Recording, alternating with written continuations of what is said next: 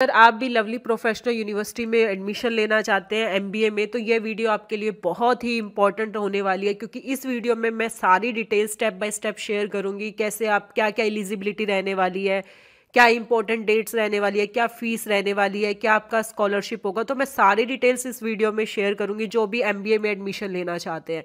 Hello friends welcome back to my channel job dot तो मैं आपको इस वीडियो में सारी डिटेल शेयर करूँगी। तो सबसे पहले मैं आपको दिखा देती हूँ कि एल कौन कौन से प्रोग्राम ऑफ़र करता है।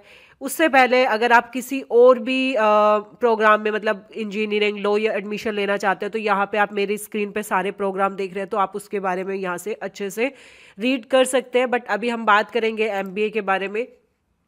तो आप देख सकते हैं एमबीए जो लवली प्रोफेशनल यूनिवर्सिटी है कौन कौन से प्रोग्राम आपको ऑफ़र करता है। MBA, MBA Business in tie-up with KPMG, MBA Financial Market in tie-up with NSE Academy, MBA Supply Chain and Logistic in tie-up with M B A hospital and health care management तो यहाँ पे M B L P university बहुत सारे programmes offer करता है। इसके अलावा भी अगर आप किसी अलग सेक्टर में करना चाहते हो तो यहाँ पे आप देख सकते हैं e commerce finance financial consulting step होते हैं अगर आप एम बी ए में एडमिशन लेना चाहते हैं तो इसमें आप देख रहे हैं फ़र्स्ट जो स्टेप होता है qualify the L P LPUNEST exam तो अगर आप एम बी ए में एडमिशन लेना चाहते हैं तो आपका एल पी एल्प्यूनेस्ट एग्ज़ाम देना आपके लिए ज़रूरी है। तो फ़र्स्ट आपको qualify the L LPUNEST exam जिसका लिंक आपको डिस्क्रिप्शन में मिल जाएगा। अगर मैं बात करूँ फोम की तो आ, अगर बॉयज़ के लिए अगर आप फिल करते हैं तो वो है वन थाउज़ेंड रुपीज़ का जो आपको फिफ्टी परसेंट डिस्काउंट पे मिलता है मीन्स फाइव हंड्रेड रुपीज़ और गर्ल के लिए अगर मैं बात करूँ तो फाइव हंड्रेड रुपीज़ का वो आपको पड़ता है टू फिफ्टी रुपीज़ में। लिंक आपको डिस्क्रिप्शन में मिल जाएगा कूपन कोड भी आपको डिस्क्रिप्शन में मिल जाएगा तो वहाँ से आप अपना एल्पिनेस्ट का फॉर्म फिल कर सकते हैं। और इसके लिए मैंने एक अलग से वीडियो भी बना रखी कि कैसे आपको एल्पिनस्ट का अगर फॉर्म फिल करने में कोई प्रॉब्लम आ रही है तो उसका लिंक वीडियो का लिंक भी मैं आपको डिस्क्रिप्शन में मैंशन कर दूँगी। वहाँ से आप प्रॉपर लिंक चेक कर सकते हैं। एंड सेकंड आपका रहेगा अपलोड द वीडियो ऐसे अब आप कहेंगे कि एल्पिनस का एग्ज़ाम तो क्लियर है. अब उसके बाद ये अपलोड द वीडियो ऐसे क्या है? MBA के लिए. ये एमबीए की मैं बात कर रही हूँ तो इसका भी मैं आपको डिटेल से थोड़ा बहुत मैं आपको बताऊँगी कि कैसे आपको वीडियो बनाना है. तो यहाँ पे आप नीचे स्क्रीन पे देख रहे हैं, ये कुछ सैम्पल्स वीडियोस दी हुई हैं. तो यहाँ से आप देख सकते हैं, जिससे आपको थोड़ा सा नॉलेज हो जाएगी कि किस टाइप की आपकी वीडियोस आपको बनानी है. ठीक है? तो यहाँ से आप ये वीडियोस देख सकते हैं सैम्पल्स वीडियो यहाँ पे बनी हुई है, आप इन पे क्लिक करके चेक कर सकते हैं और आपके लिए बहुत ही थोड़ी मतलब आपके लिए इंपॉर्टेंट है, क्यों तो यहाँ से आपको हेल्प हो जाएगी। थर्ड मैं बात करती हूँ क्वालिफाई इंटरव्यू जब आप ये प्रोसेस कर लेंगे। उसके बाद आपका जो थर्ड स्टेप आता है इंटरव्यू तो आपका जो थर्ड स्टेप होगा वो इंटरव्यू होगा।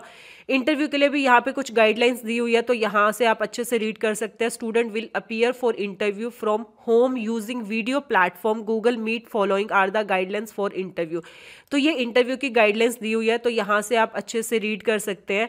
ड्रेस इन प्रोफेशनल तो यहाँ पे सारी डिटेल्स दी हुई है, आप इन्हें चेक कर सकते हैं, ठीक है?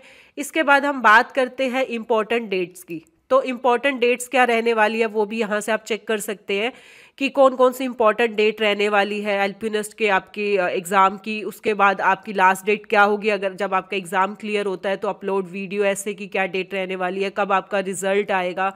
इंटरव्यू की डेट आपकी स्लोट बुकिंग कैसे होगी? रिज़ल्ट आपका जब इंटरव्यू हो जाता है, उसके within twenty four hours में आपका रिज़ल्ट आ जाता है। लास्ट डेट क्या एडमिशन की रहने वाली है।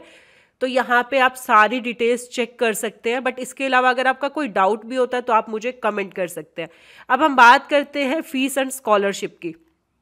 तो अगर मैं बात करूँ एम की फ़ीस एंड स्कॉलरशिप की तो फ़ीस की अगर मैं बात करूँ पर सेमेस्टर की जो आपकी फ़ीस रहने वाली है, वो टू लैख पर सेमेस्टर रहने वाली है।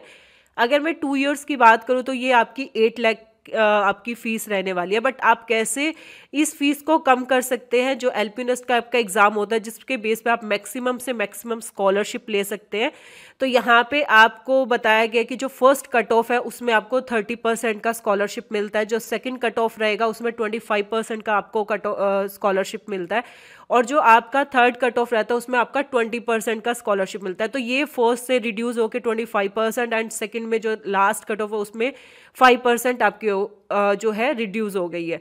तो यहाँ से आप अपनी स्कॉलरशिप भी चेक कर सकते हैं कि कितनी आपको स्कॉलरशिप मिलने वाली है, क्या आपकी फ़ीस रहने वाली है। तो इस वीडियो में मैंने आपको जो है एल एम की प्रॉपर डिटेल शेयर की है। फिर भी अगर आपका कोई डाउट है या कोई भी मिस रह जाता है पॉइंट तो आप प्लीज़ मुझे कमेंट करिए और ऐसे ही वीडियोज़ के लिए जॉब डोर को लाइक शेयर एंड सब्सक्राइब करते रहिएगा। Thank you